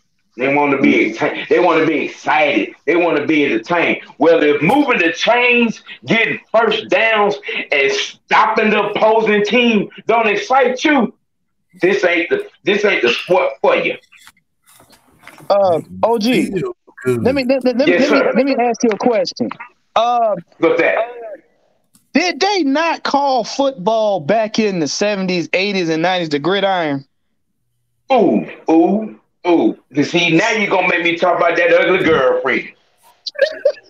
See, that that that that that that that, that will cook for you. Sloppy and make sure you're good. The game of football ain't pretty, never has been. Nope. The Nope. game of football, you you know, understand something. Everybody talk about how bad hockey and boxing is. The game of football will break your soul if you ain't careful. Okay? Moving them sticks, people. See, a lot of folks are caught up on this, you know, the, the greatest show on turf. That was that, that was window dressing. How long did that last? Two, three seasons at best. Mhm. Okay. You got a lot of these fools out here with this these fantasy GM Madden goddamn minded bullshit. Excuse me. I'm trying to keep it clean. Yeah, but this is this is this ain't cute.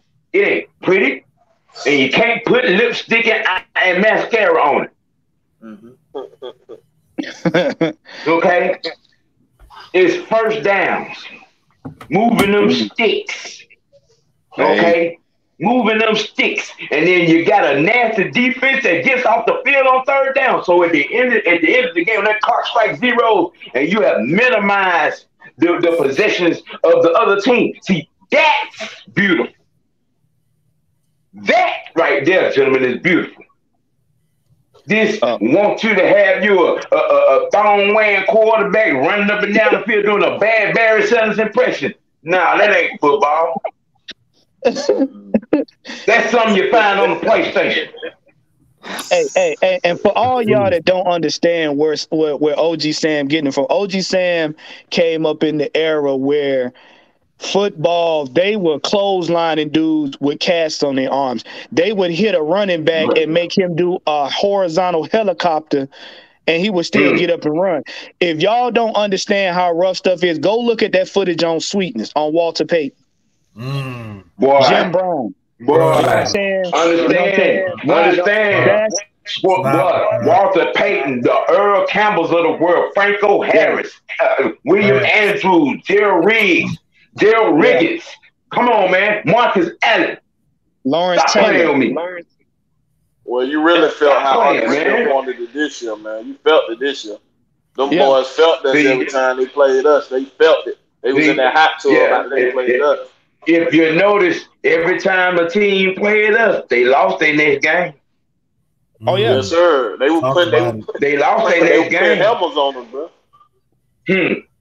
Was the See, and the thing You is, know, the thing is, we're getting back to the gridiron, and every team Yes. had to give their all when playing us, regardless of who it was, because the next game they either lost a player or lost players playing in that next game against whoever whoever else they play.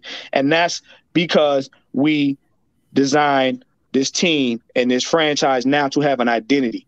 And if you notice, it's easier to get behind an organization when they have an identity than it is when you're just making it up game by game. Mm-hmm. Mm-hmm. And then he, you you have these fools that you know. The funny sentence I keep hearing is, I, I like Desmond Ridder, but it wouldn't be no but if you really truly meant what you said. wouldn't be no but. Yeah, he playing black uh, chess. enough. He talk he talk We like Matt playing Ryan. I don't like chess. that. Personally, I don't, I don't understand how how anyone can look at the four game sample size of Desmond Ridder and then look at Lamar uh, Jackson and how much money he'll cost and say, you know what, that's a that's a that's a good idea. I'm not gonna sit here and throw shots at, at Lamar and say that he's a bad quarterback or anything like that. He's definitely not. He's he's he he, he is up there. Don't like don't don't don't. don't I am. like- I am gonna throw shots. I am. Cause He's he a running back with a, he, he's a He running ain't back no with leader. on. He He's ain't no back with a leader. He ain't no leader. And he fragile.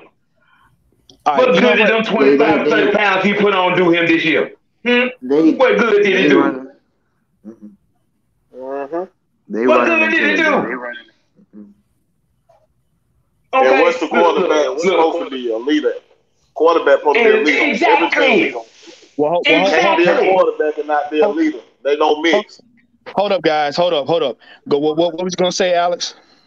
Yeah, I, I mean, uh, there's like, I'm not, I'm not, I'm not, I'm not, uh, I'm gonna reserve like some things for for Lamar because I'm not gonna like because because because because he he he in terms of being a quarterback, I just don't see the reason to go ahead and, and, and spend like 40 million on Lamar in this system.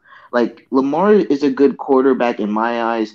Uh, there's a lot of there's there's a lot of things that are going on with the Ravens organization, at least on the offensive side of the ball. More specifically, with their passing game, that I, it's just too complicated to get into. For example, Greg Roman, that that that that ship is sailed for a reason because Greg Roman, outside of designing run plays, is kind of kind of bad.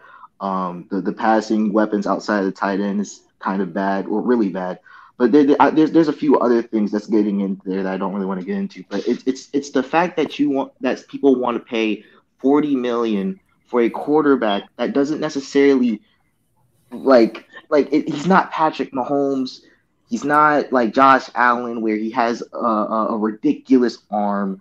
Uh, he has crazy athleticism, and his arm isn't bad uh, to say the less. But like, it's not like he's gonna necessarily carry this team by itself.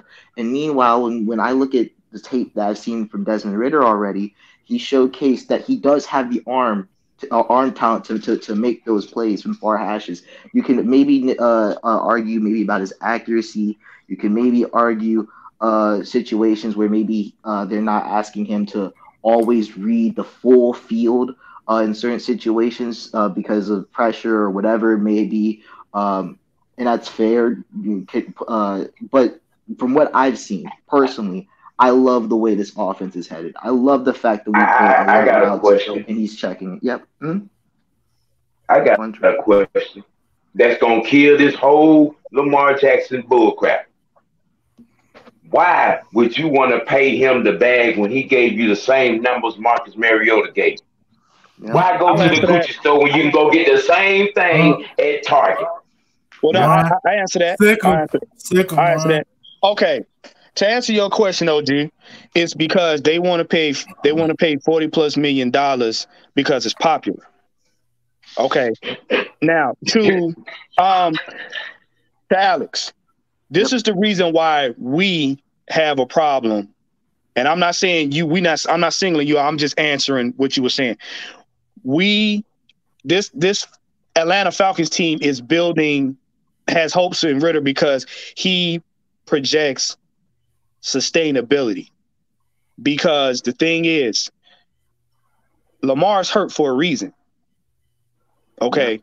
And he's hurt because mm-hmm. his athletics has exceeded his QB IQ. And a lot of people not gonna like to hear that. The same right. thing that happened with Vic. His athletics superseded his QB IQ. And I'm gonna I'm gonna give you a game. I'm, I'm, I'm, a, I'm gonna give you a game and a situation as to why Ridder gives you that sustainability. It was the Tampa game. When they decided that Ridder was getting getting in the rhythm, they started sending blitzes up the gut. Yep.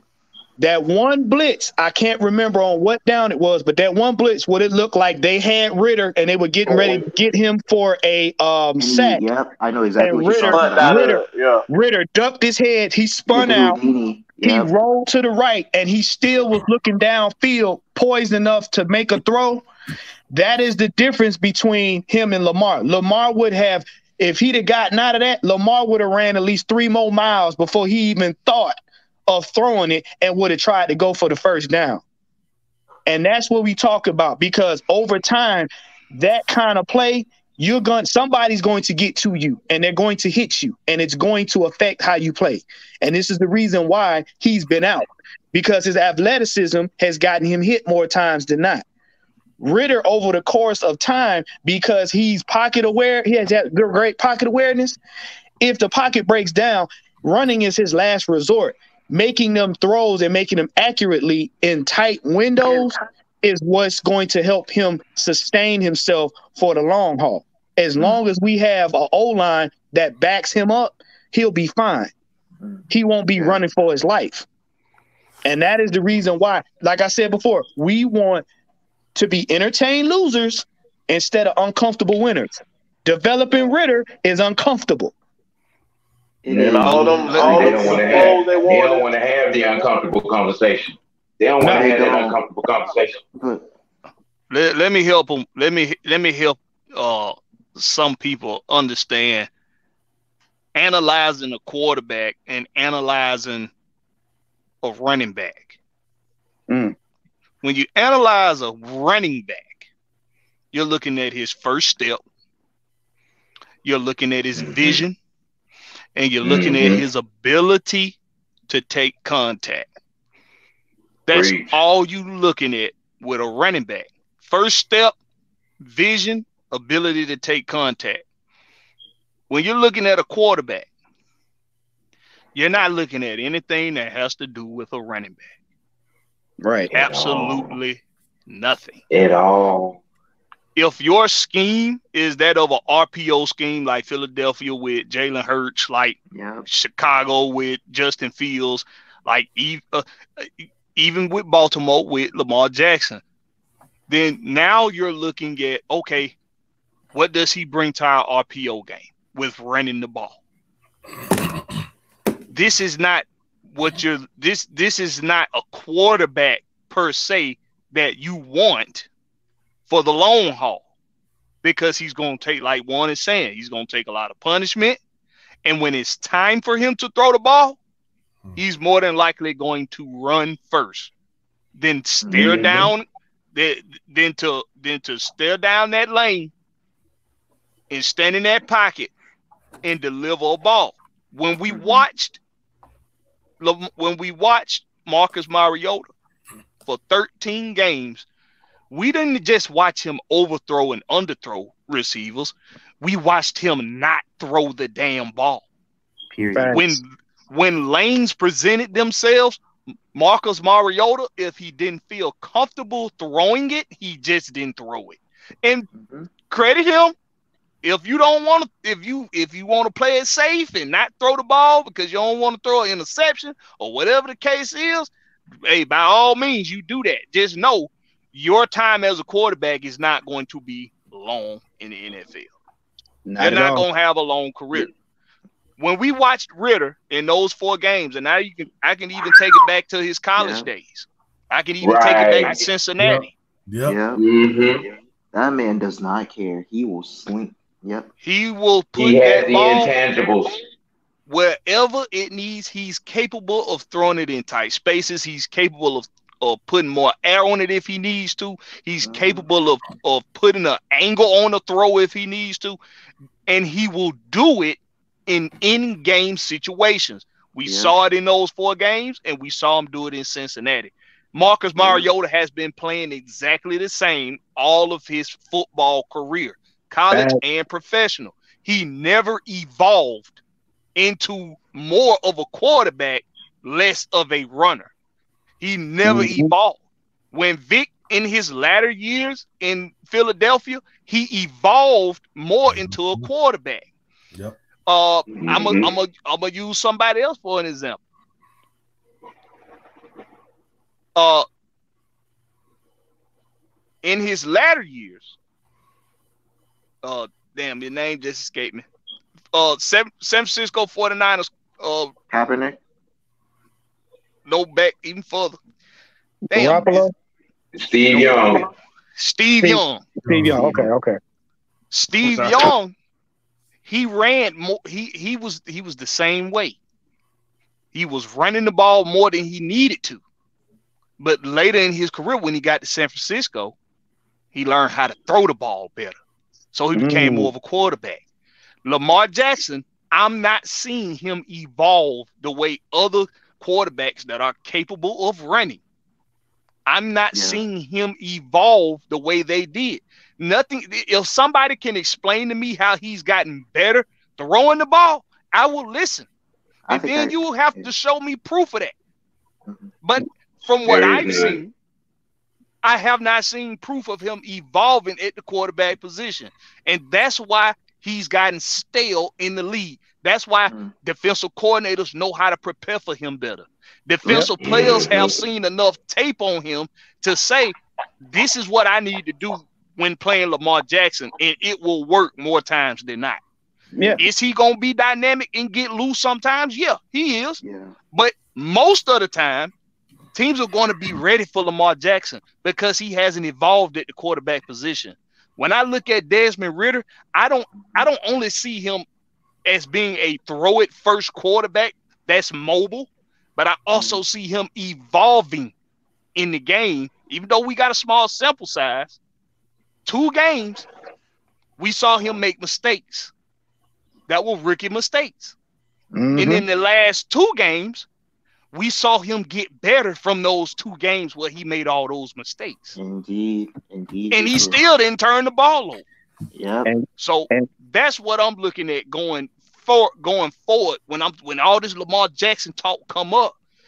Fans need to stop and think: Is it are you really excited because it's the name, are you or are you excited because you think he actually make your team better? Here- Here's my Well, here's my specific scouting Well, look, what we scouting gonna do? report on Desmond Ridder. What what what we gonna Is do it- is, is uh we we at an hour forty. We're gonna get ready to Uh-oh. wind it down. But what I am gonna do, I'm gonna get everybody's uh I'm gonna get everybody's final words and everything. Want to thank all you guys for tuning in and thank you guys for coming on. Um, I'm gonna finish up. I'm gonna start with uh, OG. Let him finish his, and we we can go all the way around. OG, what you was about to say now? What's what's your final words on that, man? My my my my my actual scouting report on on Desmond Ridder, and the thing that impressed me the most, you know what I'm saying, with him is his his his intangibles to recognize a mistake and communicate with his guys, and th- th- to ask them what did you see as opposed to what I saw. Mm, You know what I'm Yeah. saying? That that right there, and he had that at Cincinnati. Matter of mm, fact, the, the, what what what put what put him on my radar was the game against Georgia, and he ah, was wearing us out. He sure did. He was wearing us out. And you know, Georgia and Alabama are the closest thing to NFL defense that you're gonna get in college. Okay, and he was he was working us out. All right, and then uh, you fast forward that to the preseason games that he had and the four games. This, bro, you you you you you got to be amped and ready, man, for these kids. mm-hmm. You got to. I mean, you know, there there is no reason why you wouldn't want to have him as your quarterback. Facts. You know, I mean, what are we talking about here? You know, we the the the the, the, the way we're set up right now, we there's no way we can mess this up. It it just isn't. Going forward, there's no way to mess this up. Because you put a defense on the other side of him, with with everything that's set up, with all the do y'all realize we are the third youngest team in the league at this particular point? Yeah. Yeah.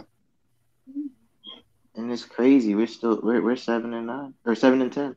That's that's Yeah. that's, that's pretty Yes. impressive. Go ahead, get your final thoughts, Alex. Uh, I'm a, I'm gonna go ahead and uh, uh, first I want to just say this uh, about Lamar Jackson. Um, in regards to him about a, as a passer, I'll, I'll be com- I'll be completely transparent with you. I've watched like a little bit, like very very little, in the, in the grand scheme of things compared to a lot of other people that have watched Lamar Jackson, followed him through, through college. I've watched pretty little, but what I am aware of is, uh, well, I, I know that Gr- Greg Roman throughout uh, the time that he's worked with uh, Lamar Jackson has been criticized a lot for his, the, how he's designed the offense in terms of schematically in the passing game to the point where they had to hire multiple passing game coordinators to help with that and things just really haven't worked out especially they're they're lacking a lot of talent at the receiving position. Um, so there's just, there's multiple things uh, in part of that. That's not necessarily an excuse for Lamar Jackson. There's there's been flashes. There's been a, a, quite a few flashes that I've seen that that leave me optimistic, and I think that Ravens fans uh, there there's there's some optimism there. But in terms of the money, it just to me doesn't necessarily make sense.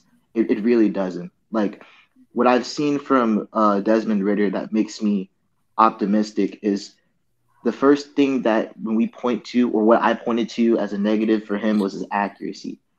That's the main thing. Whether it was uh, just random uh, inaccuracies, uh, short game or sorry, quick game uh, into in, into the intermediate, and especially deep down the field, that that that happened to be a problem, and he fixed it. And I think that that's a big credit to him as a player, but also to uh, to to the person that he worked out with, with Jordan Palmer, who's also known for helping uh, people out with with their accuracy issues, especially during the draft process. I uh, I also appreciate the fact that Arthur Smith was aware of all of this and held him off and, and gave a good, decent, good uh, gave some good tape for the for these four games, with the maybe exception of the Saints game because I don't like schematically how that was drawn up. That's that's a different story. Um, what I think people should be very very happy about when it comes to Desmond Ridder is that he is not afraid to push the ball, even in situations where maybe he probably shouldn't. He's not afraid to push the ball and, and go for the deep ball and go for the go ball and, and, and, and, and throw a good one. He, he, he's he, he's capable of throwing multiple good uh, deep, uh, deep throws from any hash. He, he, he's he's good. He has the arm strength. He's shown that he's had the accuracy. To me, it's just con- continuing that consistency uh, and, and mobility wise in terms of his knowledge of the game, in terms of how he reads things out, I have no problems, no regards in there. I think it's just him just continuing to get better, uh, facing uh, facing more complex defenses where they they they they'll confuse they'll they'll try to confuse the crap out of him. But I think that he's capable of, of, of doing so. I think he, this four game sample size, uh, people haven't really been paying attention to. I, I would highly suggest for some people to to, to, to rewatch them because to me it's it's pretty it's pretty decent. Go ahead, Will. Oh, well, so I'm just ready to see what's gonna happen. Though. I like everything we doing right now. You know what I mean? I like the direction we going. Like the foundation Smith is built here. I like the way Terry no draft. Everybody here in drafted and came through and did something, bro. Everybody here in draft. So I like to see that part of the game and see these boys develop more talent and now I just want to see how he finna doing his uh in his off season getting these free agents with this money. That's gonna be the next step. And I think I mean they already was like I said before, they was already feeling us last year. They ain't want to play us. Now we just got to come away with the win. Now we come away with more dubs. You know what I mean? Right. That's what's up. Right. Go ahead, coach. Can you guys hear me? Yeah, yeah, we hear you. Yes, sir.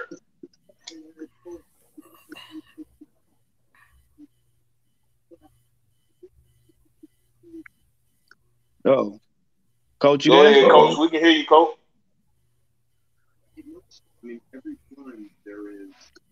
I don't know. I think I think Dirk Koetter tried to get his mic.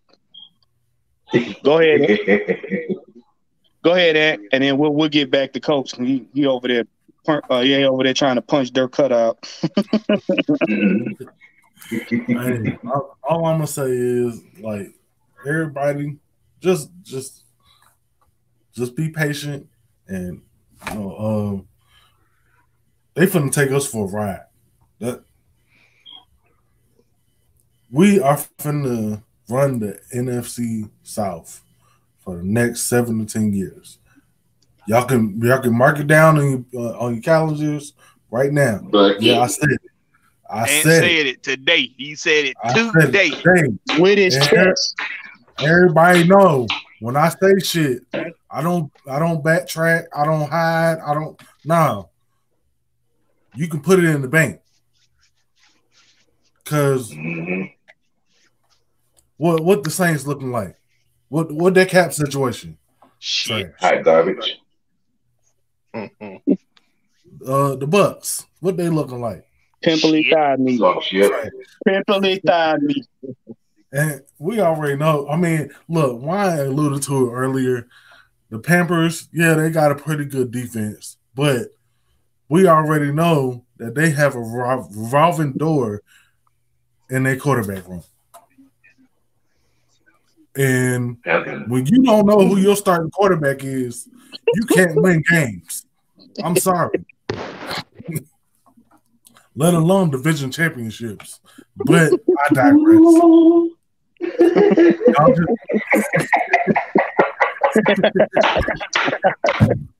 Y'all ain't- y'all ain't What you- what you got, Cole?